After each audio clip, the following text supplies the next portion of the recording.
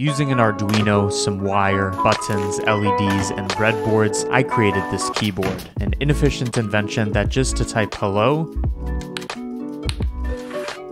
takes considerable time. Inspired by Netflix, Hulu, and all services with equally inefficient ways to type what you want on your TV, I wanted to make something just as slow. With my keyboard, each button corresponds with a letter, and all 27 letters, being the English alphabet and the spacebar, have been divided into three quadrants. Technically, three people can use this keyboard to type at once. Okay, quick breakdown of how this keyboard works. Imagine that instead of typing the letter A, for example, instead of doing something like that, we just wanted to turn on a light bulb. Well, to do that, we need to connect it to a power source, being, in this case, it's the microcontroller, uh, but we have a circuit here, probably good to have a resistor so this thing doesn't blow out, and, you know, this is now typing the letter A. Now, we want to do it so that it's only when I click a certain button, because you click a button, A is typed, etc. So all we do is we remove a piece of this wire, make it subject to a button, and now whenever this is clicked or closed, the circuit is complete and it types the letter A. Only other thing to consider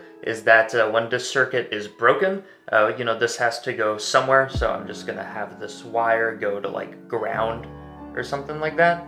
And uh, then we have a complete circuit with a resistor here so that, so you know it knows what to do. But basically it's just this 26 times with 26 different light bulbs. Now, while my keyboard may not be the fastest for typing, I sure have become fast at typing with it. How fast, you ask? Well, nearly a decade ago, Freddie Wong came out with a video to test how fast you type, at least compared to him. Get this video playing in the background and get your fingers ready because in just a second, a block of text is going to appear on screen. And when it does, type it out as fast as you can and we'll see who wins. So I thought, let's do that challenge a decade later and see how good am I with this uh, this monstrosity.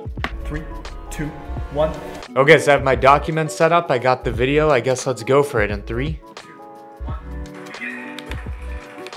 And so after a decade, I was to go head to head with one of the fastest typers out there. Him with a professional keyboard and me, well, you know, with this. I'm gonna beat you, Freddie.